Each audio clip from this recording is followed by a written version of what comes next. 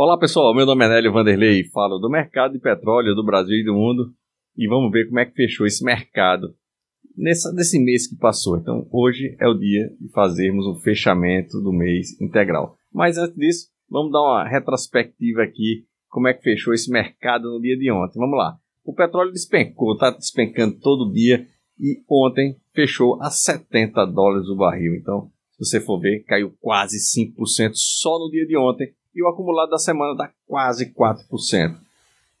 O WTI, que é o petróleo nos Estados Unidos, ele fechou a 66, quase 67 dólares o barril, e também com a queda de mais de 4% só no dia de hoje, né? no caso, no dia de ontem, e fechou com a queda de quase 2% acumulado. Então, fechou o mês é, é com a queda que a gente vai ver lá na frente como é que foi esse, esse fechamento. E a gasolina lá nos Estados Unidos, né? como é que fechou? Fechou é, 5% de queda, 5,39%, e o acumulado na semana está de 3%.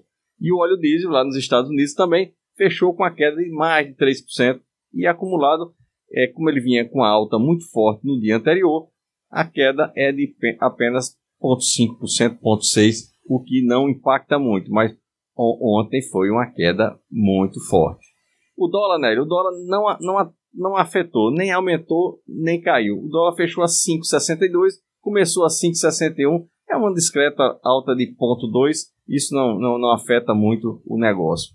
Já o etanol hidratado, ele começou a, a queda novamente, então caiu meio por cento ontem, fechou a 3,57, começou a 3,59, dando continuidade ao seu rito de queda que ele vem caindo semanalmente.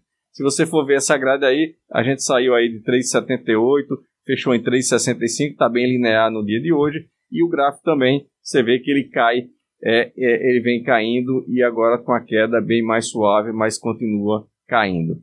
Bom, é, hoje é quarta-feira e quarta-feira sai o estoque americano, a gente vai ver lá na frente. Amanhã vocês vão ver como é que foi esse mercado, se isso vai afetar o, o, o, o mercado de petróleo ou não.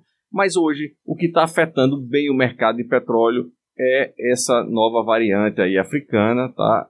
que ele está com uma, uma, possibilidade de disseminação muito grande no mundo e o mercado eh, de petróleo está muito nervoso e isso está fazendo com que a, a, haja uma possibilidade de voltar a fechar os países, voltar as cidades a fecharem. Já tem aqui no Brasil é, movimento de cancelar carnaval em alguns, algum, algumas cidades, e isso no mundo também está tendo essa apreensão, e isso é sinal de retenção de consumo, e caindo no consumo, o preço despenca, porque o mercado fica muito nervoso.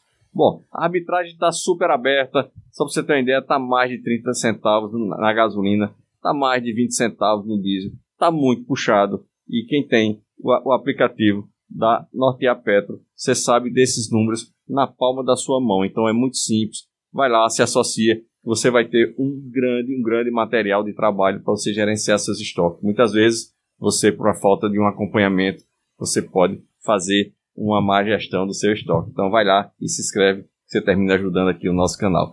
Bom, vamos lá. Notícia do dia. Petrobras conclui a venda da refinaria da Relan ao grupo Mubadala. Então, isso já está é, é, feito, é lá na Bahia. Então, pessoal já assumiu e a partir do dia 1 já tem vida própria, mas está concluído a passagem. A petróleo só tem que estar tá acompanhando direitinho para que não tenha perda de continuidade nos processos, porque tem a responsabilidade com todos os clientes que pegavam lá nessa refinaria.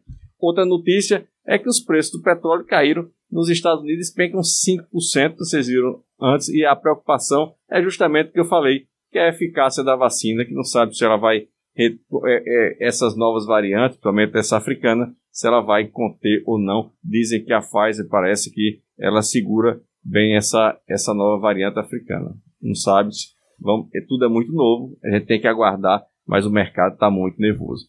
E vamos lá, se você puder ajudar, se inscrever no canal, aperta lá o sininho para receber todo dia às 7h45 notícias do mercado de petróleo do Brasil e do mundo, nós ficaremos muito gratos a você e você pode encaminhar para pessoas que você acha que merece receber esse material. Bom, vamos lá, o fechamento do mês. O mês de novembro fechou assim. Vamos lá. A evolução do Brent. A gente pegou só o petróleo Brent, que é o, o, o principal referência.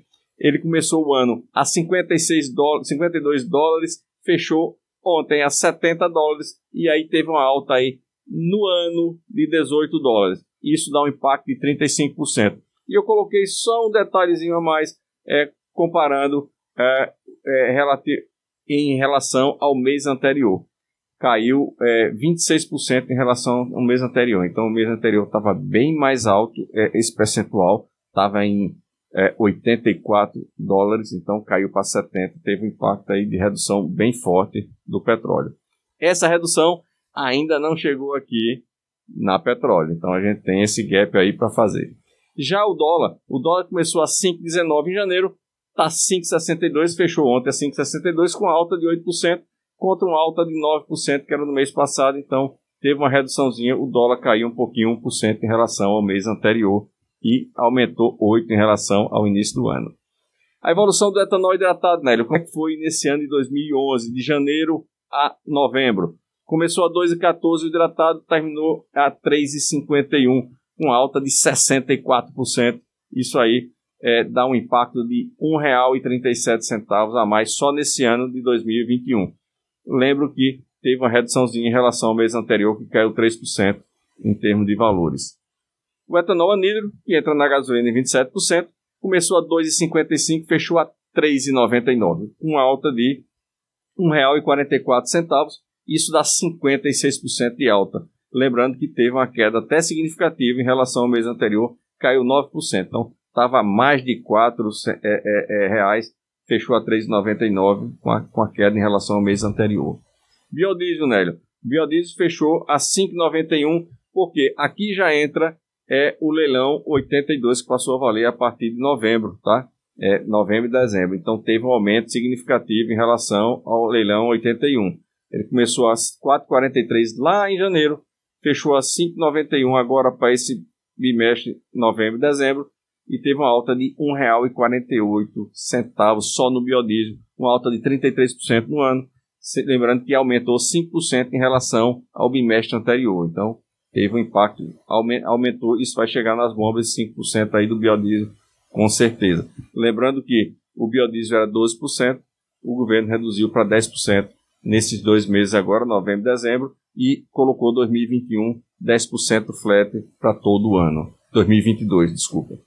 É, a evolução do S10 da Petrobras, Nélio, não teve alteração em relação ao mês anterior. Então começou a 2,2, fechou a 3,34, Petrobras podia ter reduzido, né? Podia ter aproveitado novembro para reduzir. Tem, tem, tem, tem tudo para fazer.